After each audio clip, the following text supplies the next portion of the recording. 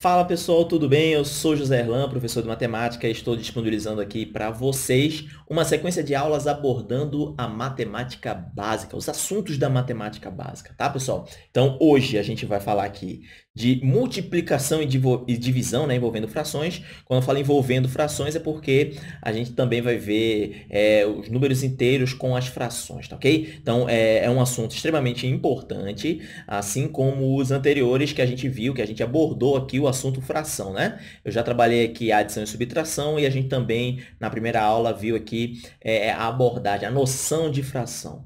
Pois, pessoal, e os tipos de frações, que é, são importantes para a gente é, não ter dúvidas quando aparecer aí uma, uma questãozinha com um termo técnico da fração, tá? Então, por isso que eu montei essa sequência aqui de aulas sobre frações, tá ok, pessoal? Então, é, aproveita para se inscrever, caso você não seja é, inscrito ou inscrita, tá? E a gente dá início aqui a mais uma aulinha. Vem aqui comigo, pessoal.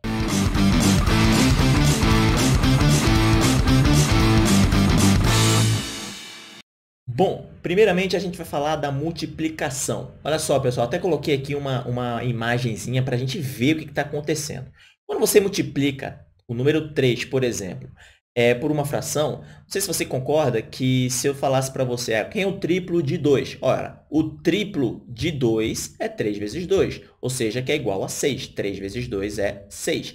Aqui, da mesma forma, a fração ela é um número. Então, quem é o triplo de um terço? Seria alguma coisa, né? É dividido em três partes iguais. Então, aqui estaria um terço dessa coisa, dessa unidade. Então, ó, quanto é o o, o, triplo disso aqui, ó, é 3 vezes isso aqui. Então, aqui estaria a nossa resposta. É 3 terços, que é a mesma coisa que a unidade. Então, se você observar, quando eu calculo, é, quando eu estou multiplicando um número inteiro por uma fração, o que a gente tem que fazer é multiplicar o número pelo numerador da fração, tá? O número inteiro pelo numerador da fração. Então, ficaria 3 multiplicado por 1 terço é igual a 3 terços. Se, se o, o, triplo de um terço são três terços, tá ok, pessoal? São três pedaços. Então, é por isso que eu não posso multiplicar o 3 pelo denominador também, senão ficaria 3 nonos. E não é verdade, né? Como vocês estão vendo aqui, o triplo de um terço seriam 3 terços, que isso aqui, eu já tinha comentado com vocês, significa a unidade. Isso aqui, como a fração é uma divisão, 3 dividido por 3 é igual a 1. É a unidade, é o que a gente está vendo aqui, a parte inteira de qualquer coisa, de qualquer referência que a gente tenha, tá? Então, aqui ó, é o quintuplo de um quarto. Bom, um quarto nada mais é que é, você pegar um objeto, dividir em quatro partes, cada partezinha disso aí, dessa, dessa divisão, seria o nosso um quarto, a quarta parte de qualquer coisa. Beleza, então, 5 vezes isso, pessoal, olha só, 5 vezes um quarto é 5 pedacinhos desse aqui. Então, eu até pintei de azul aqui, ó, pode ver que a gente ia passar da unidade. Por quê? Porque um quarto, né, aqui ó, tem 4 quartos, não é isso? Aqui a gente tem 4 quartos. Então, é, como teríamos aqui 5 quartos, ficaria ainda um pedacinho aqui do lado de fora. Então, a gente tem uma parte inteira mais é, uma, um quarto né, é, dessa unidade, tá ok? Então, 5 quartos, 5 vezes um quarto, nada mais é que 5 quartos. Aqui a gente tem uma fração imprópria, né? Onde a gente até consegue montar um número misto com isso aqui, pessoal. Não sei se vocês lembram. Ó, observe que 5 quartos nada mais é que 4 quartos, é o que está acontecendo aqui,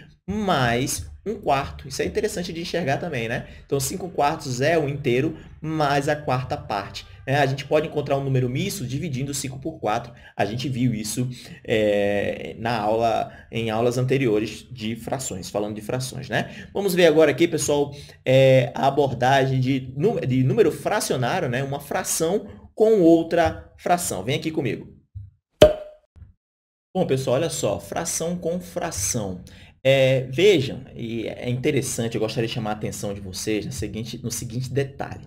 Olha só, na matemática, quando aparece o termo um terço de alguma coisa, ou a porcentagem de alguma coisa é 40%, 30%, 10% de alguma coisa, pessoal, essa, esse, esse, essa palavrinha de, tá? Então, vou até escrever aqui, ó. Por exemplo, é 10% de é, 50. Vamos imaginar essa situação.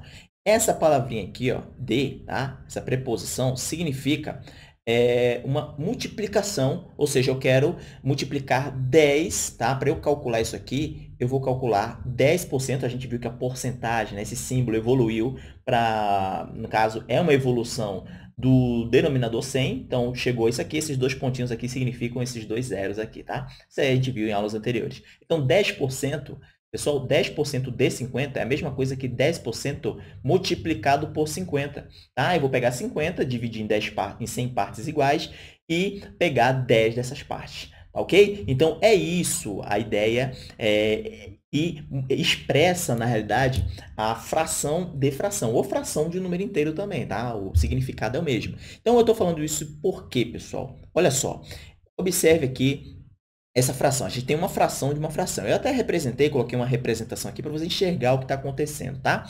Então, olha só, 2 terços multiplicado por 1 quarto tem esse sentido aqui, ó. Na verdade, é 2 terços de 1 quarto. Tá ok? 2 terços de 1 quarto. Então, você vai pegar alguma coisa, dividir em quatro partes iguais e calcular 2 terços dessa parte. Foi isso que eu fiz aqui. Eu peguei um inteiro, dividi em quatro partes iguais, como vocês estão vendo aqui, ó, uma parte, duas partes, três, quatro partes.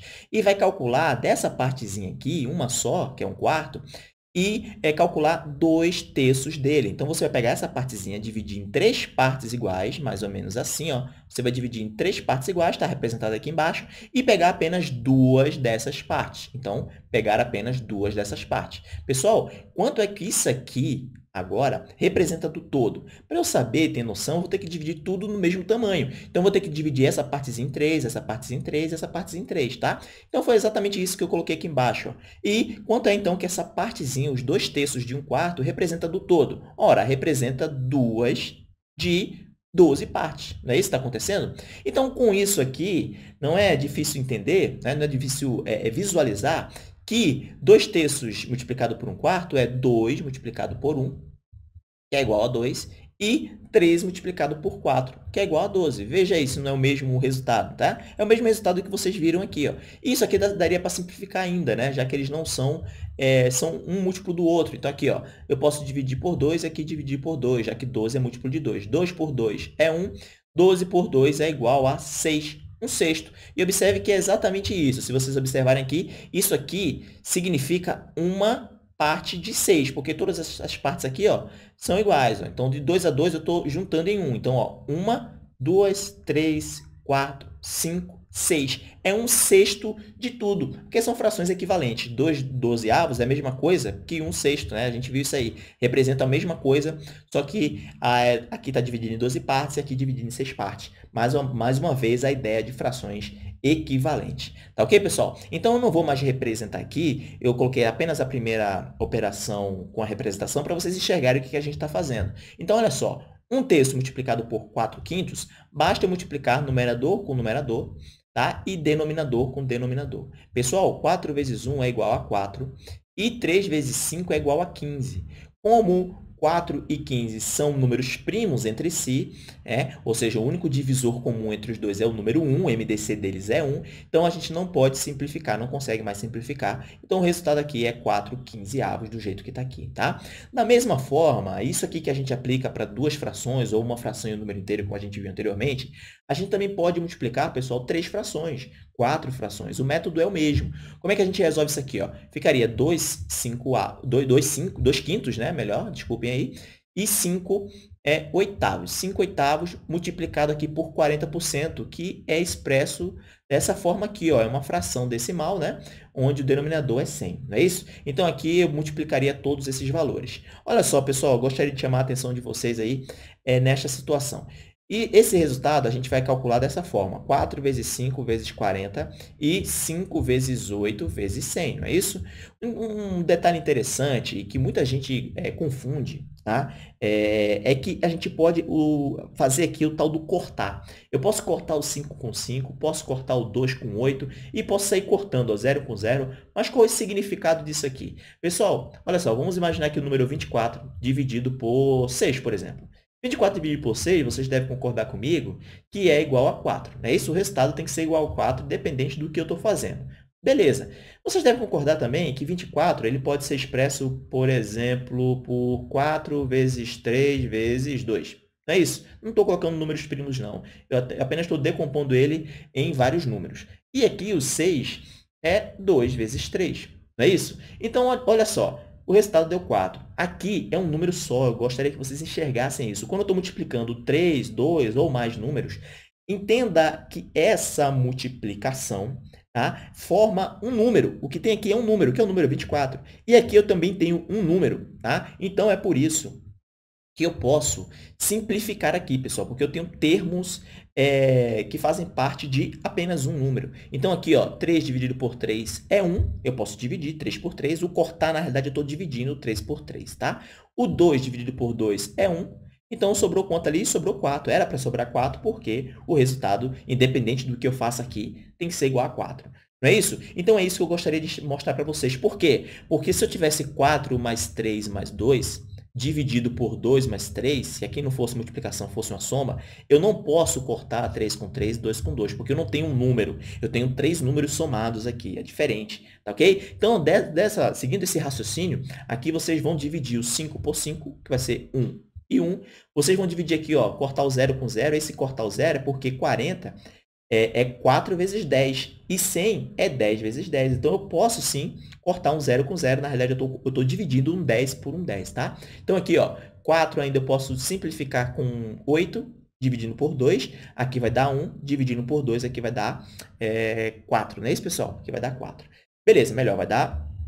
Vamos colocar aqui, ó, 8 dividido por 4 é 1. É, vamos dividir por 1, é melhor, né? 4 dividido por 4 é 1 e 8 dividido por 4 é 2. Beleza? E aqui ainda poderíamos simplificar, ó, o 2 aqui com 2, que sobrou aqui, ficaria 1 e 1. E ainda temos aqui, pessoal, somente, né? Então, aqui em cima ficou ó, 1 vezes 1 vezes 1, que é igual a 1. E é, 1 vezes 1 é 1, vezes 10 é igual a 10. Então, o resultado disso aqui é um décimo, tá? Eu achei interessante mostrar isso aqui, porque tem muita gente ainda que acha né, que sempre corta se tiver um termo em cima e embaixo é, é, é, igual. Então, isso aí não é verdade, tá? A gente só corta quando tem multiplicações, tá ok? E porque essa multiplicação, ela representa um número. Beleza, pessoal? Vamos aqui agora é, entender a divisão envolvendo fração, pessoal. Olha só. Bom, pessoal, olha só, agora a gente tem aqui a divisão de um inteiro com a fração e de uma fração com um inteiro. É, eu gostaria de chamar a atenção de vocês, como a gente tem uma divisão e a fração é um número, é muito importante para vocês enxergarem o que está acontecendo aqui. Vamos fazer aqui um link com a divisão envolvendo números inteiros. 6 dividido por 2, por exemplo. Eu estou dizendo, eu estou querendo saber quantas duplas tem 3, não é isso? Ou tem 6. E a gente sabe que é 3, porque 3 vezes 2 é 6. Então, eu tenho 3 duplas em 6. É isso que está acontecendo. Ó. Quantos terços tenho 3 inteiros? Pessoal, o 3 inteiro, ele, eu acabei representando aqui, ó, 3 inteiros. Quantos terços tem? Então, cada inteiro eu vou dividir em três partes iguais. É exatamente o que está acontecendo aqui. Ó. É, e eu quero saber quantos terços tem aqui no total. Então, ó, se a gente contar, 1, 2, 3, 4, 5, 6, 7, 8, 9. Exatamente. É, 3 dividido por um terço, eu estou querendo saber quantos terços tem em 3 inteiros. Esse resultado vai ser 9. Beleza, mas eu não vou querer ficar desenhando sempre para saber é, calcular isso aqui. Pessoal, é importante tá, a gente entender que na divisão envolvendo fração, essa divisão ela só foi possível depois de uma propriedade que foi criada nos números racionais. Se você não conhece, tudo bem, não precisa é, se não, não, não, não, aprendeu ainda os conjuntos numéricos, não tem problema, mas é importante fazer esse link. Olha só, quando você tem aí um número dividido por outro, por exemplo, 3 dividido por 3, você deve concordar comigo, que a gente estudou agora fração, que esse resultado é igual a 1. Né? A gente acabou de estudar multiplicação de fração. Isso aqui também é igual ó, a 3 multiplicado por seu é, pelo inverso de 3 aqui. Não é isso? Porque essa expressão aqui não vai chegar exatamente a essa expressão? Exatamente. Então, ó, 3 multiplicado por 1 terço é a mesma coisa que 3 dividido por 3.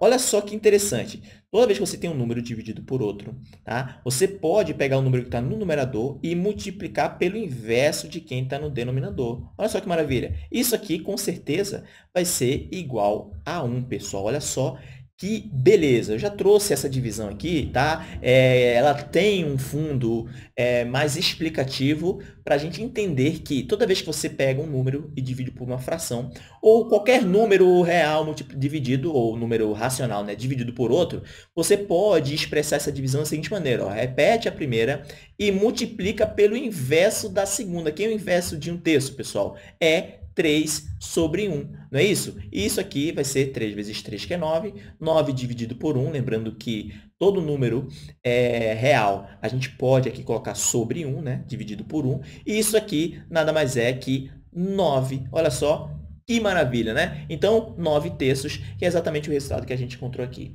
Da mesma forma, se você tiver aí ó, uma fração dividido por um inteiro, a gente pode aplicar essa fórmula também, tá? Eu acabei representando aqui para você entender ó, que eu tenho a metade e quero dividir essa metade em cinco partes iguais. Então, a metade de alguma coisa inteira, eu estou dividindo a metade em cinco partes iguais. Então, quanto é cada partezinha dessa do todo? Bom, para isso, para eu saber quanto essa partezinha representa do todo, eu tenho que dividir a outra parte também em cinco partes iguais. Então, aqui você consegue enxergar que é 1 de 10, não é isso? Porque aqui, como tem 5, é aqui 5, então 1 décimo. E a gente pode, eu não vou ficar desenhando sempre, a gente pode entender que isso aqui vem exatamente da divisão, ou melhor, da multiplicação entre o primeiro termo e o inverso do segundo. O 5, como é 5 sobre 1, ficaria 1 sobre 5. Não é isso? O inverso de 5 sobre 1 é 1 quinto. Então, ó, pessoal, 1 vezes 1 é igual a 1, 2 vezes 5 é igual a 10. Lembrando que essa expressão também poderia aparecer assim, ó, pessoal. É, por exemplo, a primeira lá seria 3 dividido por 1 terço. Tá? Isso aqui também é uma divisão. A fração é uma divisão. Né? Então, eu vou representar essa divisão dessa forma aqui. Eu vou é, operar dessa maneira aqui, tá ok? Então, é, é uma explicação que é interessante a gente saber. É, Para finalizar aqui agora, a gente vai ver divisão envolvendo fração com fração, tá ok, pessoal? Então, olha só, é, é muito importante a gente compreender é, todos esses passos que eu estou mostrando aqui para vocês, porque quando você trabalha com equações, por exemplo, é, ou melhor, quando você trabalha com frações algébricas, tá? É, surgem muitas dúvidas e essas dúvidas vêm exatamente dessas operações que a gente está vendo aqui. Tá ok, pessoal? Então é por isso que eu estou chamando, é, parece ser um assunto trivial, um assunto simples, mas esses detalhes fazem muita diferença. Ok? Vamos aqui, pessoal, para mais uma, é, para agora para a divisão é, envolvendo fração com fração. Olha só. Bom, pessoal, para finalizar aqui, ó, eu representei apenas a primeira para vocês enxergarem o que está acontecendo. Aqui está perguntando quantos é, quartos existem dentro da metade, tá? Então, ó, se você pegar alguma coisa e dividir é, essa coisa em duas partes iguais, ele está querendo saber quantos quartos desse inteiro tem dentro da metade dele. Então, é exatamente isso que está acontecendo. Então, aqui estaria um quarto do inteiro.